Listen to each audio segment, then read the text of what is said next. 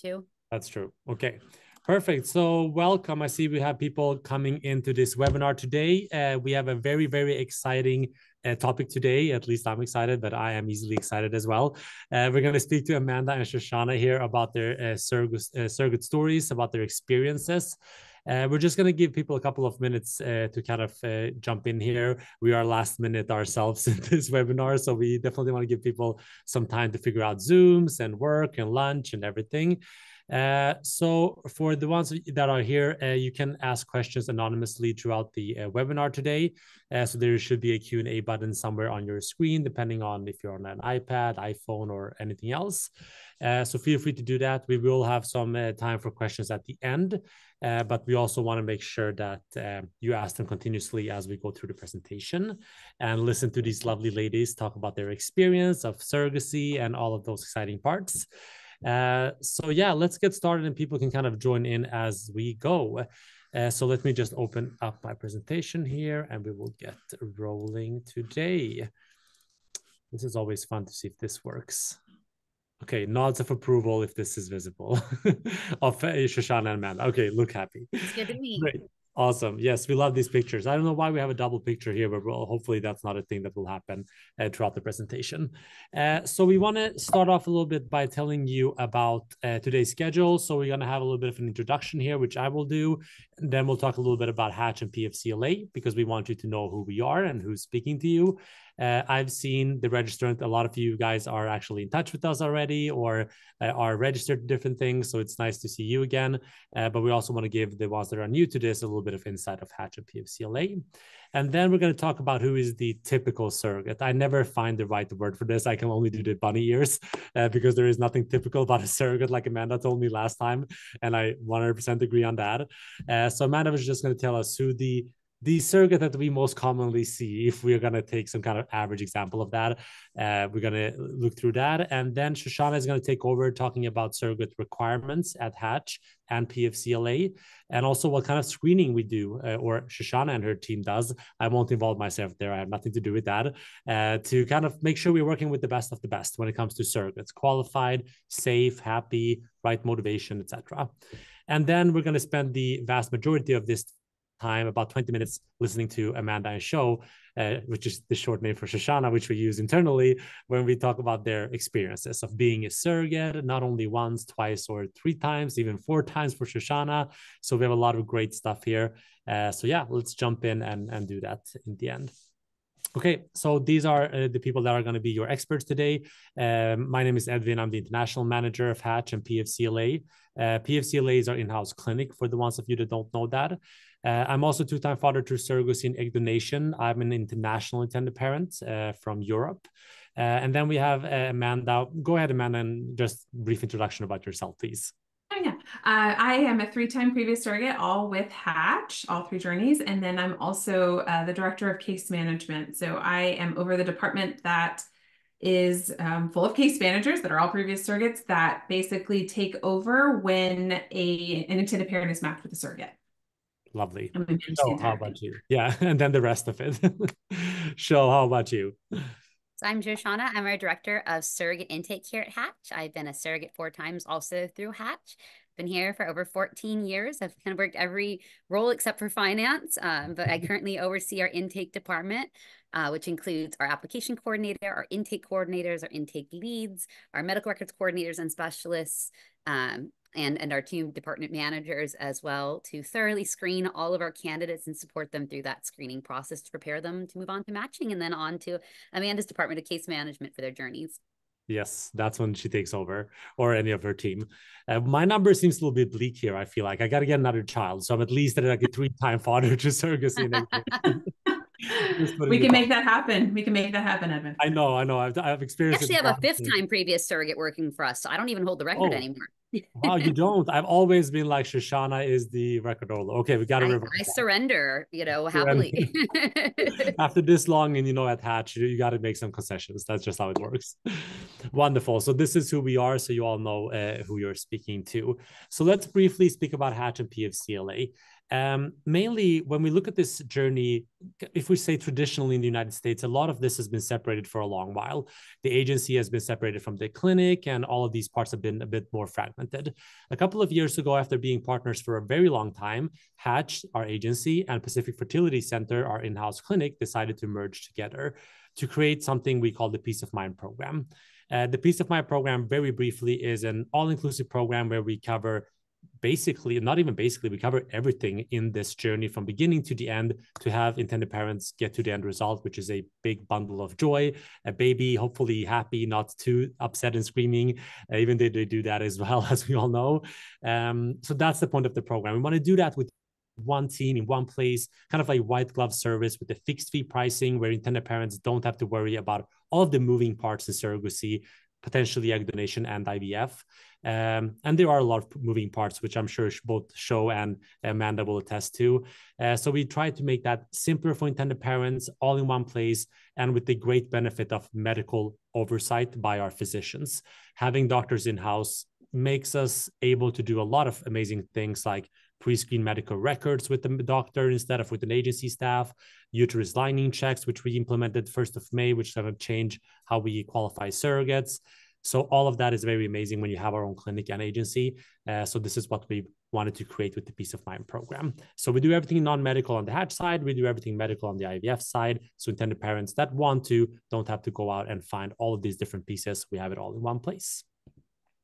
And Hatch is amazing in many ways.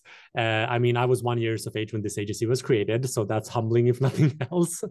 Uh, 33 years of experience, 52 countries around the world. We've worked with clients from 52 countries, uh, which also impresses me as an international intended parent. Uh, we have the largest egg donor database in the US for the ones of you that are looking for egg donation. Uh, it's cost free to register, so run, run, run and do that on the website. Uh, success rate 99.5%. Uh, we love that number, of course. And we also love to give you information on what it means. It looks at, you know, when you start a journey with Hatch, do you have a baby or not?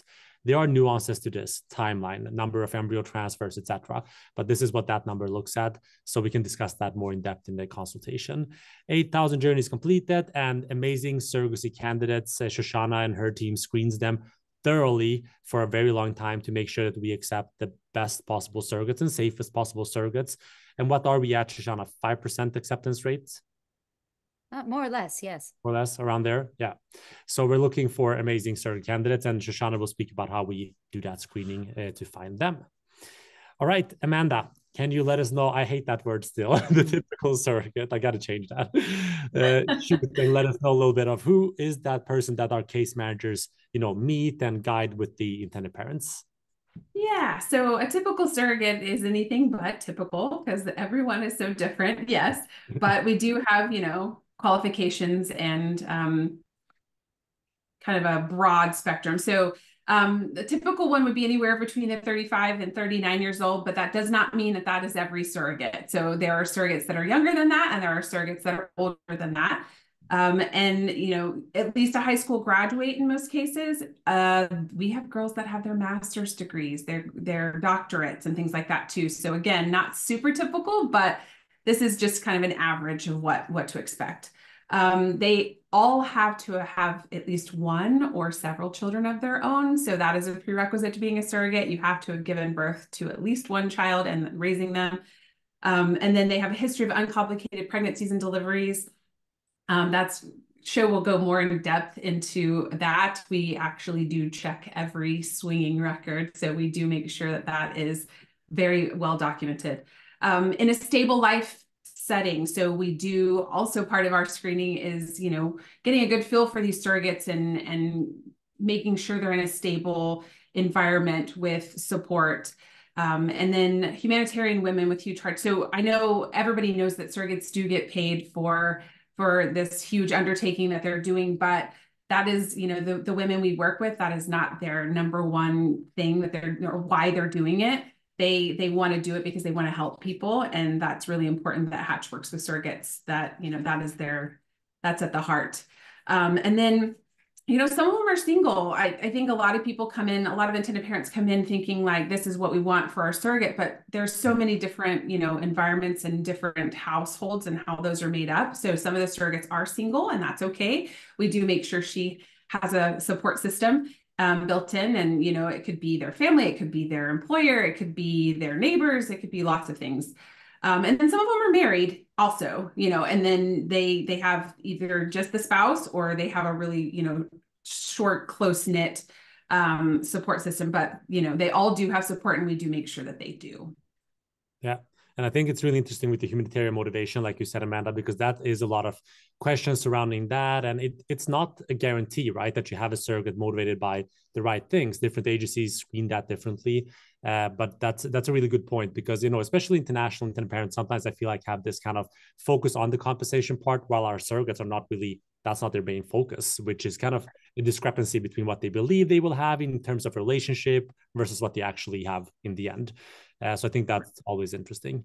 Uh, awesome. Thank you so much, Amanda, for walking us through that a bit. Yeah. Um, all right, Shoshana. So we would love to hear about the surrogacy requirements and pre-match screening. So let's start with our in-house IVF clinic.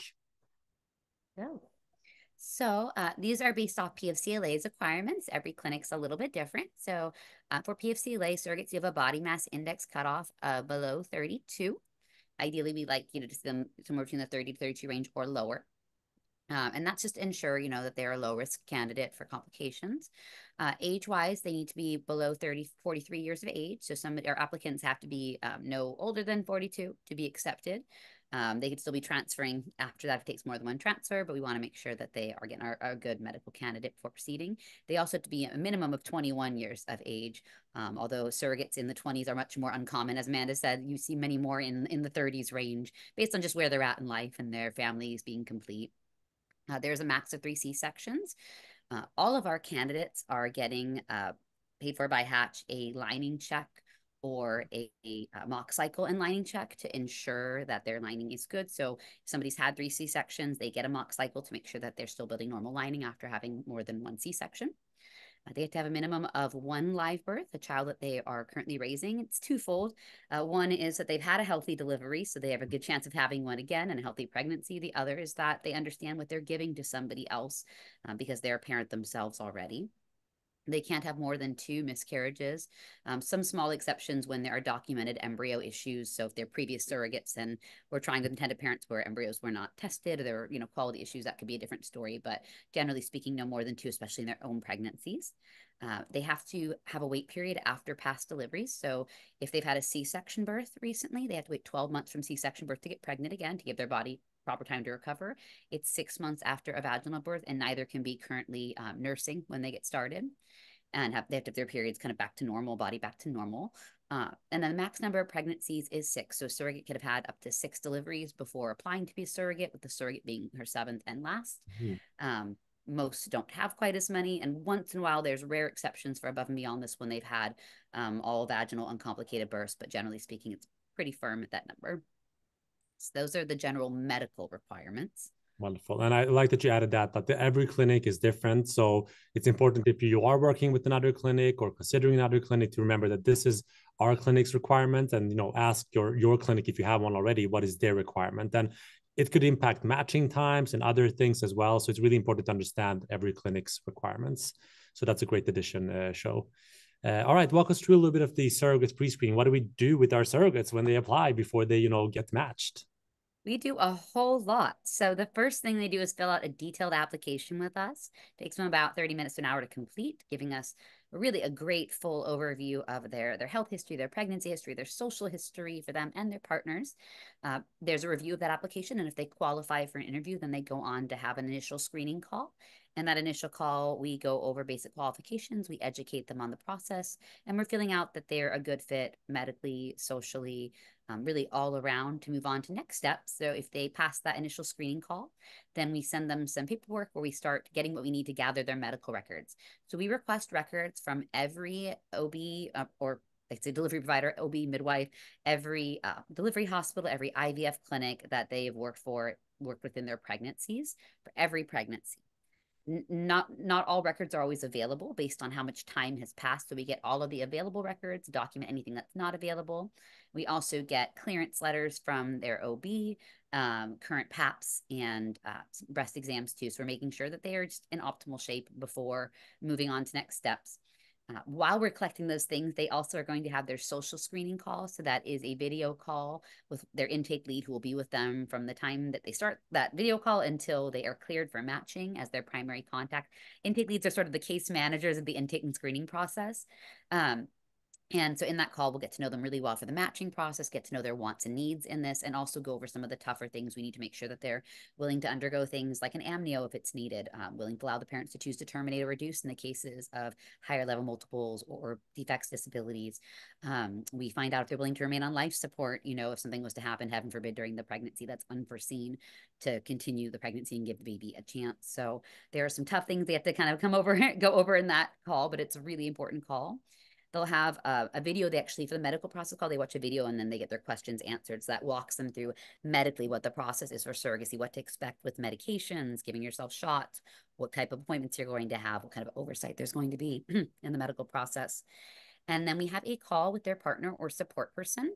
So for a surrogate who has a partner, it will always be the partner. But for single surrogates, we have a call with their primary support person uh, to make sure that they're on board. There's someone in their corner who knows what's happening and is going to support them through it emotionally or whatever other capacity they can offer that kind of support. We have a routine background check that's done securely through an online uh, website that's licensed to do that. It's pretty incredible, um, very secure and very private, but we get results back very quickly. And that's for the surrogate and any adults in our household. So if they live with mom and dad, if they have cousins or roommates um, or even adult children living with them, they also undergo that background check. It is uh, criminal and financial, so it's not a credit score check, but we're checking for things like bankruptcies, liens, judgments, as well as arrests and um, driving history as well. And then we do a psychological screening of our surrogates. So we refer to licensed mental health professionals who are experts in this field. They conduct a video interview with the surrogate and partner if applicable. And they also have the surrogate undergo a test called a PAI, as well as some, other assessments depending on her unique situation uh, to assess if she is a good psychological fit for surrogacy, that we're not putting her at undue risk for her mental health and well being, and that she's really prepared for this process and all that it entails. We get a detailed report back that'll go to your IVF doctor. And then they do have a mock cycle or uterine lining check. I mentioned that one earlier. So for a, they're very similar processes. For a mock cycle, they take some medications similar to what they'll take in their IVF cycle, but oral, not injectable medications. Um, and then their lining is checked at a certain point in their cycle to make sure they built an adequate normal lining, no fibroid cysts or polyps that are in areas or size that are of concern um, that would impact implantation. And a lining check is the same thing, but no meds needed. That's just done at the same kind of timing in the cycle to look at how they build their lining naturally. Uh, and we're looking for lining to be uh, above an eight or above and uh, trilaminar. So to have the best chance of success, those are reviewed by Dr. Sahakian in our office to make sure that everything looks good. Um, mock cycles are done on people who have had more than two C-sections, who have had a D&C after their last pregnancy, um, who have had anything like a manual placenta removal before, things that could potentially have caused any problems with the womb, um, or who've had IUDs after their last delivery, even if they've had the IUD out for years to make sure that they still build normal lining. Everybody else can do a regular lining check and then only followed with a mock if their lining wasn't where you wanted on its own to see if they respond to medication. The great thing about doing that, first of all, one of the only programs that actually does that pre-match. That's when we rolled out. We started in March with our program, and now applies to all candidates as of May. And it's pretty amazing because you know that when you match with somebody, you can have a lot more confidence that when they go to their in person medical screening, the results are going to be good. Nothing mm-hmm. is perfect. People's yeah. linings can change, people's bodies change, you know, but it gives you a, a lot more confidence in that match that medically things are going to look good when you go in for that in person screening. Yeah. And, and that is a great addition to this this process. Sorry, go ahead. That's and at the tail end of that, once a surrogate is cleared for matching, we are very big about education every step of the process. So when they're with intake, we're educating them on the process, preparing them. When they're in matching, they're being prepared for their match. When they are with uh, case management, they're being prepared for their journey as it unfolds, step by step support throughout the process. So what we try to do in intake before passing them on to the next department is impart upon them all the things in their journey that they can focus on to help have a smooth journey and what they can expect to lie ahead of them. So that's our surrogate responsibility call. Um, and then they'll have their in-person medical screening after they've matched with you. Yeah. Awesome. Well, thank you so much for walking us through that. And that mock cycle, that or uterus lining check, like you said, is a great, great thing to to be able to add to that kind of toolbox that you have here because it truly is like a toolbox full of these things, which makes us, you know, find great surrogates. So that's amazing. Thank you so much, Show.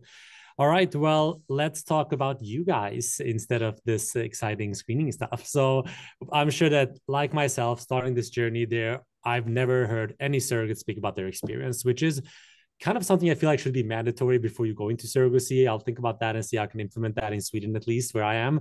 Uh, I think this would be a great thing to have done before I started. And I hope that people that are here or watch this recording afterwards or on this on YouTube uh, really get a good insight here into this. So I'm really excited to do this with you both. So I would love to start off with, you know, one of the most common questions that we get in consultations with intended parents at a certain point when they ask us, Edwin, just wait. I just want to ask, like, why would anybody become a surrogate? You know, who are these women, and you know, why do they pursue surrogacy? If it's you know, if it's not for monetary reasons, which we know that the ones we screen are not, so what is the kind of background? So, I would love to hear from both of you why you decided to become a surrogate and what kind of led you on that path. To show if you want to kick us off, and then we go to hear about, about Amanda's story.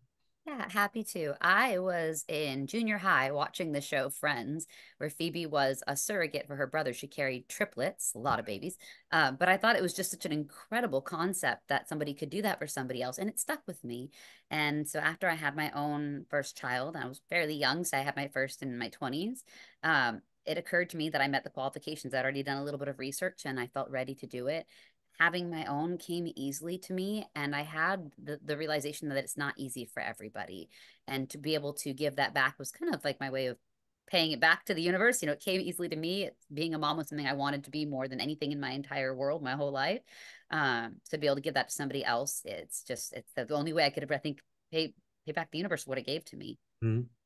yeah that's amazing, and I, I, love that friends part because we all—I mean, not all of us, but most of us have seen that as well, and and then maybe consider surrogacy more at that point. But it's it's really interesting that was your kind of in to the whole kind of field. Uh, how about you, Amanda? TV show, newspaper? What what happened to you? No, neither one. So I actually had a really close friend before I was a mother. Um, she was told that she would never have kids, and so I, bef- again, before I was a mother, I was just like, I will have, I will have babies for you. And, um, you know, we know that's not, we have to have had birth, had a baby in order to be one. So I just basically, it was on my heart then. And um, miraculously, she did get pregnant. It was like, wow, Amazing. like the odds were, yeah, it was just like a miracle. So she did get pregnant. At that time, I was like, well, um, I had already had several children of my own, and uh, my pregnancies were awesome. I was very lucky. I have very easy pregnancies, and I very much enjoyed it. So I thought, well, if I'm not going to do it for her, why couldn't I do it for somebody I don't know? Mm-hmm. Um, and I had some other friends that were actually.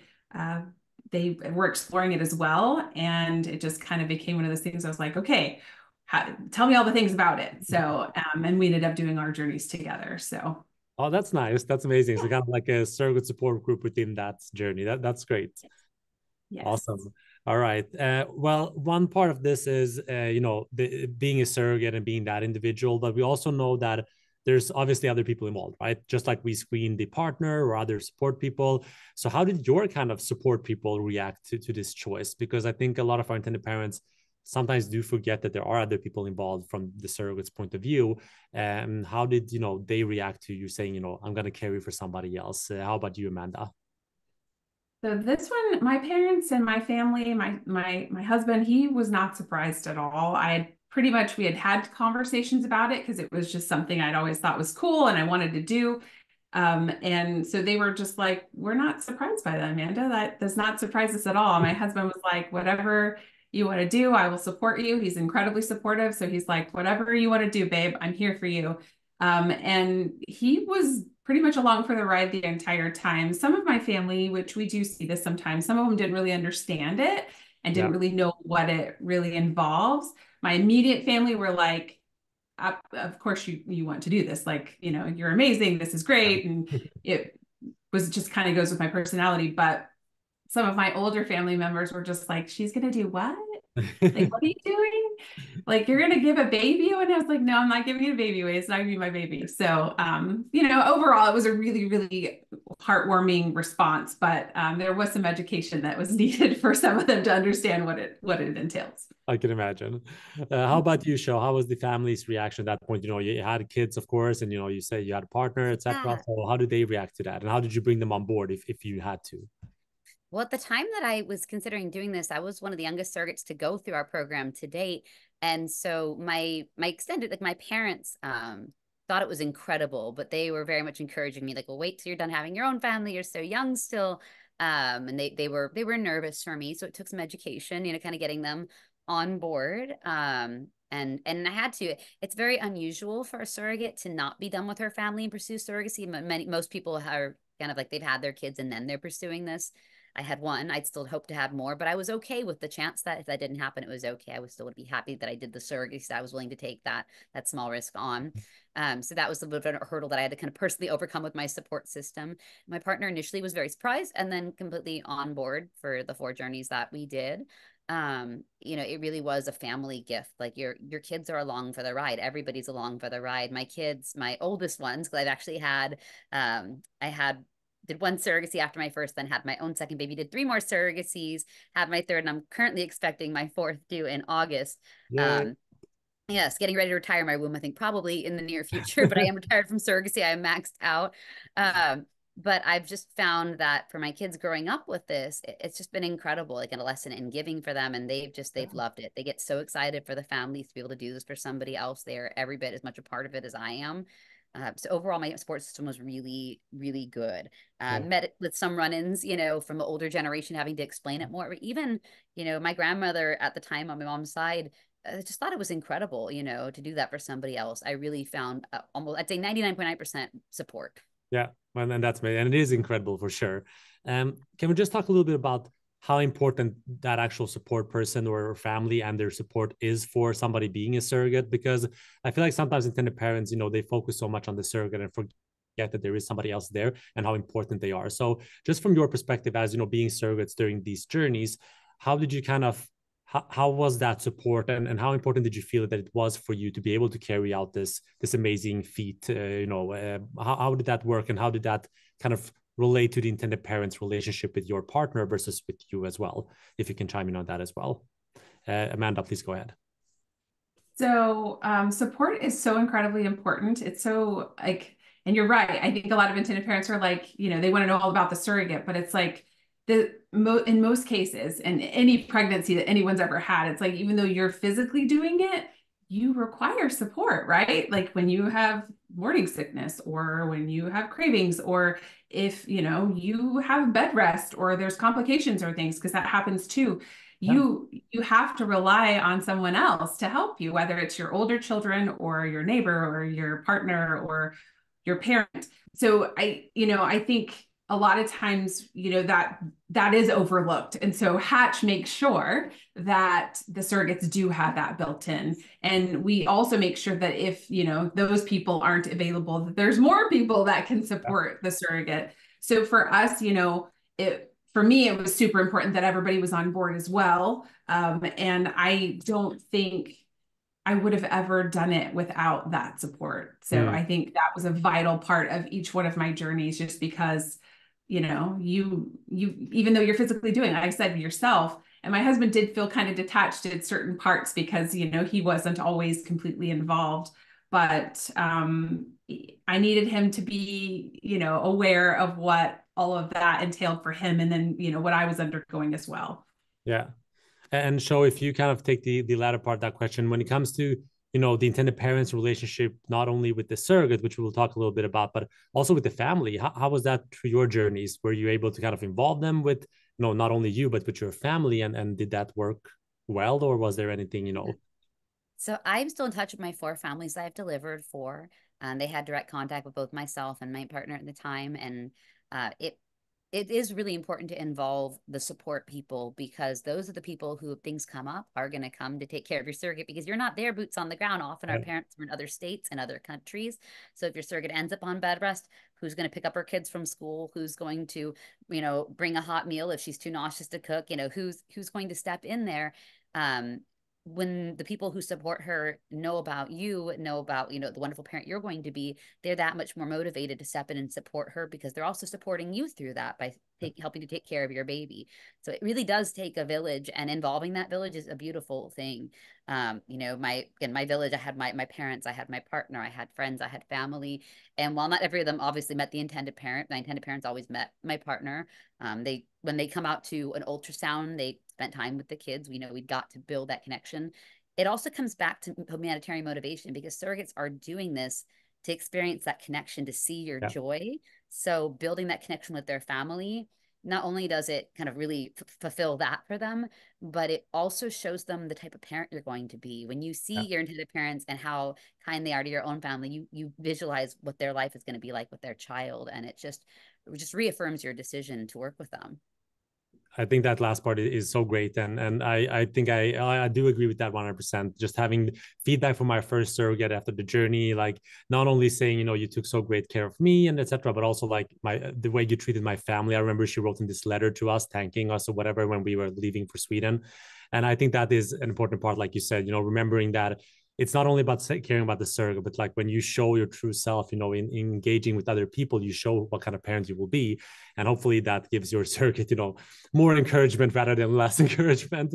But it is a beautiful thing to get to know the family. And I think any intended parent kind of thinking that they don't want a lot of communication or involvement with the family and you know reconsider if you can because that is an amazing thing. You get a you know a, new connections for life and you get an insight into a whole new family which is worth so much for your own family building later. Uh, so i agree with that. So it sounds like you had a great relationship with the intended parents and with the um, with the, with your family and with them. How about you amanda when it came to communication relationship? What was that like with your intended parents during your journey? Oh so all three of my journeys i still i still am in contact with all of them. Um, my first couple we've actually gone on family vacations together mm-hmm. with both of our families because they've grown. Um, and then my second uh, journey they are in a pretty far away country so it's really hard to see them but we do communicate a lot. They send me videos and and um, pictures of um, the baby all the time which is not a baby anymore. And then um, my third journey we still talk a lot so um, the parents and I are extremely close, and we have a really good relationship.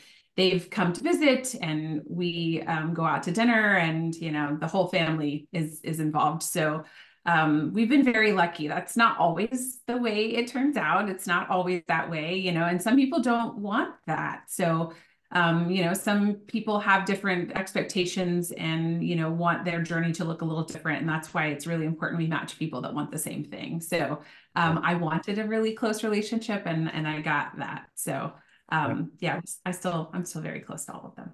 That's great. I love hearing that. And it is true, like you said, you know, matching the right intended parent with the right surrogate. That's the part of our matching department headed by Janice, also a previous surrogate.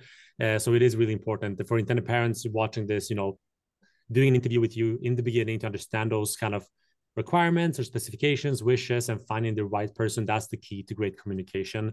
So that's what Janice and her department will will be doing for Hatch and intended parents. Um, I think uh, we're gonna shoot forward a little bit and talk a little bit about another question that's really, really common, especially for the more kind of maybe philosophical intended parents out there is you know the feeling of carrying someone else's child. And somebody puts it you know better or worse in you know giving it a child away or giving a child back which i like much more uh, which i think show or amanda said to me a couple of years back and i was like that is great way to put it. Uh, so how did you feel uh, with that part? You know if we focus a little bit on you know this is not my child it, obviously understanding that but how was that feeling to kind of see if we can reassure a couple of intended parents out there. They might feel that you know that might be hard for surrogates to to accept, but uh, please, Shoshana, chime in on that. You know how that feeling was, and knowing that that's someone else's child, and how you kind of dealt with that. It's very different from carrying your own. Uh, it's exciting in new ways because there's somebody every bit as excited about that child coming into the world as you, if not if not more so. Uh, I feel like when I carry my surrogate babies, I still absolutely love them, but I don't have a bond to them. You connect to the family. I feel connected to my intended parents, and I love that I get ongoing communication. I got to know them. I don't have relationships with the children after the birth. Going into my first journey, I really wondered how I was going to feel after the birth because I had mm-hmm. a good expectation. I, I really felt confident that I wasn't going to be attached to the baby. You know, you navigate the pregnancy differently. You're obviously very careful during pregnancy, but in addition to that, I'm a very connected person with all my babies. So any baby I've carried, like I've baby worn, I've nursed, I've been very like hands-on. That's my own parenting strategy. Every parent parents differently, and I certainly don't impose that on my intended parents. but like in pregnancy for me that translates to playing music for baby talking to baby and so in my surrogacy i had recorded books from the parents that i played for baby so they heard their parents voices i played music the parents liked so when they went home there was a song that was familiar i really felt that i was not only just carrying their child i was carrying their ability to bond with their child so i involved them a lot in the pregnancy um, so that they could build that connection so while I did do things like talking to my belly, rubbing my belly, I told them about their parents and the exciting things that were ahead of them. Um, and when I finally got to hold my surrogate babies after delivery, after the parents had the first chance to hold babies, uh, they're adorable. Don't get me wrong. And I, I, absolutely love them and want the best for them in the world, but they're not mine. I don't worry about what they're doing at night. Like my own, I worry about my own every waking minute, what they're doing. Yeah. I know somebody else is doing that. I don't have that responsibility. It was like holding a friend's baby or like a cousin, maybe like you love them, you think they're adorable, but like there's no problem handing them back to where they belong. I never felt, um, a parental bond to them. It felt very different than my own. And I got the experience of going back and forth between surrogacy and my own and mm. be able to kind of compare, go, oh gosh, this is just so different. Mm. Um, it really is di- different, I think, even than anyone can imagine until you've actually done it. Yeah. And uh, Amanda, how about you? You know, we heard a little bit about show talking about how she kind of did, did the book with the voice of the parents, etc., which is kind of a little bit of involving the the intended parents because there are a lot of intended parents that wonder, you know, I'm all the way over here and she's all the way over there. How am I even a part of this kind of nine months of pregnancy? So how did you kind of involve the intended parents? Did you have any strategies, anything that you kind of did to to keep them involved and feeling like, you know, this is your pregnancy and you know, don't you forget it as well? Yeah, so I would um, I sent weekly bump pictures. So every time we'd hit a new week, I would send them a new picture of how their baby's growing and how my belly's growing.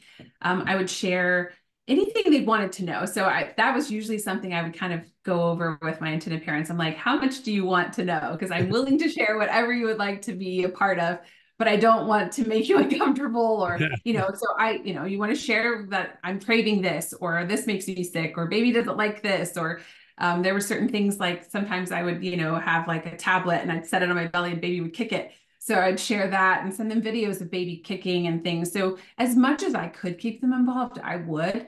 Um, that was like one of my goals was just to keep them, you know, like let them know all the things as if they were, you know, doing it themselves as much as I could. So um, yeah, it was like a, it was it like Show said, it's really exciting too because you are sharing it with someone else. So, you know, when you when you carry your own kids, it's exciting. Yeah, you're planning the nursery and doing all those things and you're you're naming the baby. But when you're carrying it for some someone else, they're doing all that. And so and they're excited about the pregnancy almost more than you are in most cases because, you know, they've been waiting a long time for this.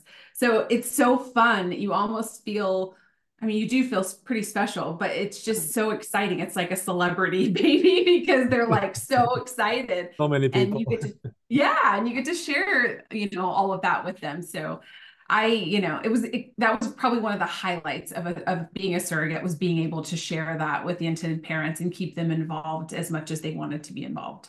Yeah, which I think is an amazing thing to do. And just as an intended parent myself, you know, there is almost no too much involvement in this process. Like that that joy to share that with the surrogate and with the family and you know it's just an amazing thing. And i think that we sometimes maybe forget in all of our planning as intended parents. You know we can i'm surely seem a little bit cold sometimes. You know we look at the timelines we look at the budgets we look at all of these things and sometimes we maybe forget that you know there's nine months of amazing relationship building and an amazing experience if we want it. And if we're open enough to give and as well as we get that experience back to us. So i think for intended parents out there kind of be open about you know this nine months of this big chance to get to know somebody work with them in the best possible way care about each other.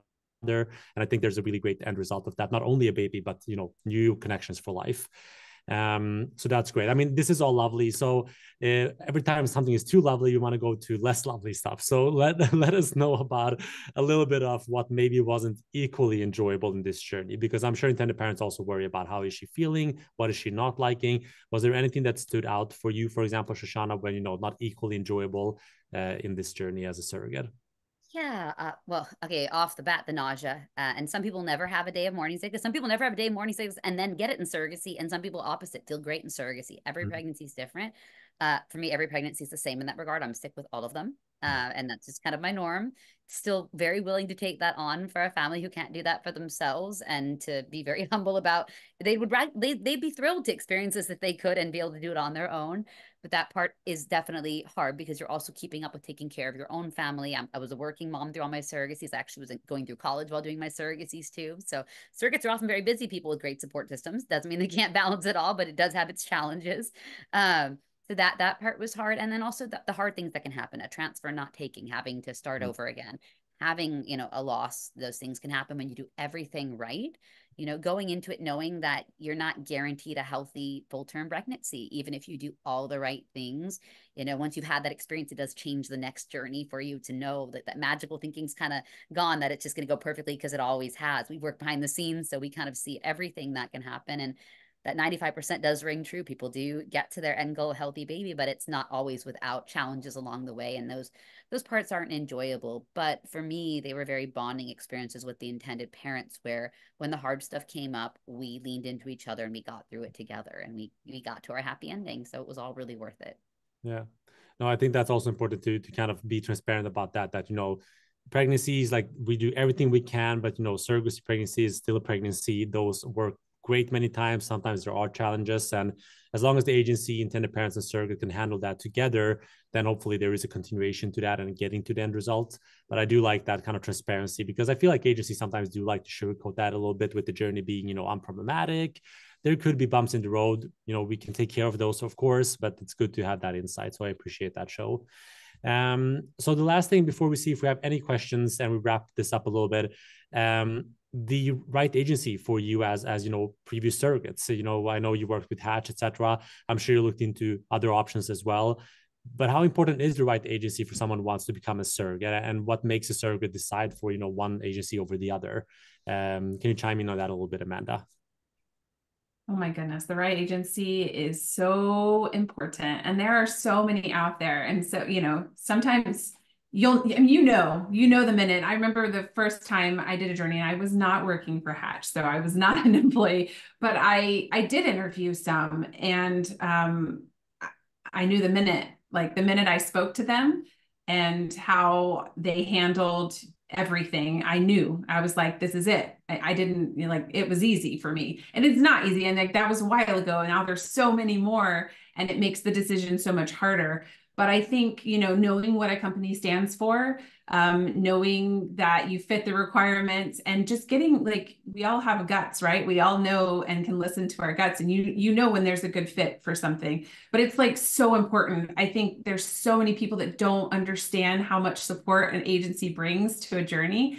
And it's, like it it's incredible i know there's a lot of women out there that do independent journeys and and that might be great for them but it is like there is so much that an agency does and brings to your journey and it just takes off that the a lot of stress. I mean not that journeys aren't stressful in and of themselves. Pregnancies babies parenthood it's all a little stressful right? I think we all know that. And then people that are going through it will know. But um, yeah having somebody just like another layer of support through the entire journey for both parties for the intended parents and for the surrogates like you cannot like th- there's no limit to that. Like it's so important. And you know do your research yeah. and really you know we we encourage people do that. It's like yeah we work for hatch and hatch is amazing but it might not be the right fit for you. And that's okay too but you need to find the right one for you. And they are out there. So it's very important. Yeah. And the research is important. And we say that to intended parents as well not only surrogates i'm sure research should i speak to more agencies absolutely because you know it might be hatch it might not be hatch and you know it's important to know the options um, Shoshana, do you mind writing this up a little bit for us? Uh, any last advice for intended parents looking to undertake surrogacy uh, from you know a surrogate's perspective? Anything you want to throw in there before we see if we have any questions? Absolutely. So I say this to every surrogate that we screen um, that essentially the intended parents uh, they're trusting you with the most critical nine months of their child's life. That is a big thing you were trusting this person with that you were just meeting. They are also trusting you with that child for a lifetime. So the only way to go into this process is with mutual respect and trust that you are on the same team, that you were in it for the same reasons, to have a great outcome, and for everybody to always be empathetic to one another, to be sensitive in their communication, and to do their best, to put their best foot forward in every step along the way um, to get through it as a team. And if you take that perspective, you are setting yourself up for success no matter what hurdles you hit along the way. So that that's what I'd leave you with. Yeah, I love that. It's all about collaboration for sure. Uh, I agree.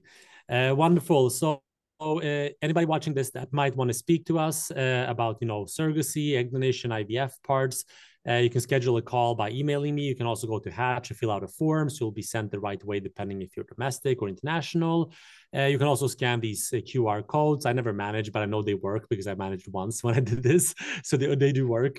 Uh, I'm just not really good at that. So you can check out uh, our Hatch, Hatch event page. We go around the world actually having events. I was in London last weekend or two weekends ago, and Shoshana was calling in there in 5 a.m. in the morning. I still haven't sent you my thank you email for that.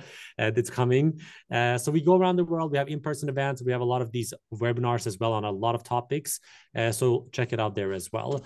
Uh, so let's see if we no questions so far, but let's see if somebody wants to chime in uh, here uh, with any questions while we have the chance. I'm clicking away here to see if somebody has a question. Um, so far, no questions. It's been kind of informative. And Show and Amanda, thank you so much for all of this insight into this journey. I actually learned a lot of new stuff for mock cycle, for example. I was a little bit unsure when you would actually do that. So I love this field of work. You always learn something new, even after three years in, in at Hatch and PFCLA. Um, all right. Well, we don't have any questions. So I'm going to thank everybody for coming in, Amanda and Show for taking the time. And yeah, keep in touch with us and best of luck on your research out there. I hope you all get to that amazing end result that you're uh, pursuing, which is a happy family. Uh, thank you and be safe out there. Thank you so much. Thank you. Bye. Oh, let's see if we have a question, if we can hang on. Yes, let's do that. One question here. Do you have a percentage of surrogates declining a process? Hmm, declining a process. So what you mean not that... passing a screening step or declining to let the parents do something in the process, maybe? What are the topics they refuse? So in what way oh, do you okay. mean topic? Do you do you understand? You mean like surrogates, whether they're willing to like vaccinate, terminate, that sort of thing? Is that what we're make sure I understood the question? Yeah. See if we can get a little bit of clarification on, on the question, just kind of what you're thinking of when you say topics they refuse. I mean, they oh. intended parent. Okay, got it. So a little bit of, uh, at the match when somebody uh, refuses an intended parent. Well, I guess the oh, surrogates who turn down the intended parents fairly yeah. uncommon. So, uh, what happens in the matching process is our match coordinators speak with both surrogates and intended parents to go over what they're both looking for to make compatible matches off a number of criteria. So, uh, generally speaking, people do go with the first match and feel pretty good about it. Once in a while, it's not the right fit after that match meeting, and they decide one party or both decide, you know, it's not the right fit, and they will try again with another match but surrogates are much more um, uh, flexible, I think, than intended parents. And it's it actually encouraged intended parents to keep a really open mind in the matching process too, because it's so easy to get hung up on like a list of criteria. But if you meet someone, when you know, you know, like it, this is a human process. So yes, you could focus on height, weight, location, all of those things, but it's best to leave the medical decisions to your doctor to review and medically approve a candidate uh, and the social recommendations to your your match coordinator of who's going to be a good fit and make this a great journey with you guys together. Yeah, absolutely. And just like you said, show nine out of 10 of our intended parents do match with the first surrogate. We suggest them, uh, I can't speak today, suggest hmm. them. And it goes both ways, right? Surrogate makes a decision and intended parents do as well. Uh, so, but it's a great, great question. Uh, you're very welcome. Sorry that I we didn't. would actually add to that really quickly. You could yeah. really help your chances of um, having a great match to the surrogate by you'll you'll write a dear surrogate letter in your mm. match process, sharing about who you are, why you're doing this, including pictures. Those really help in matching, and also yeah. being just um, being yourself, being kind, you know, being open on that match meeting, letting yourself be vulnerable, sharing about who you are, why you're doing this. It's very much about a human connection. Surrogates want to see who you are and what the mm. life is going to be like for that child. So it, it can be nerve wracking. People can be very guarded, but I really encourage people to be really open in those interviews and sharing who they are and what they want out of this process. Yeah, absolutely. And requirements overall on location of surrogates, etc., also does help. The larger the pool, the you know, the hopefully quicker the match. Even though we look at a lot of different specifications for a suitable match, uh, but I agree with that as well. So that's a great question and a great answer. Uh, so now I'm gonna let everybody go. We ran over time, so I'm just let everybody go back to whatever they're doing. I know some are in the U.S. having lunch breaks, uh, others are in in Europe or uh, elsewhere in the middle of the evening. So thanks once again, and yeah, stay safe, and we'll speak soon, all of you, hopefully. Bye bye.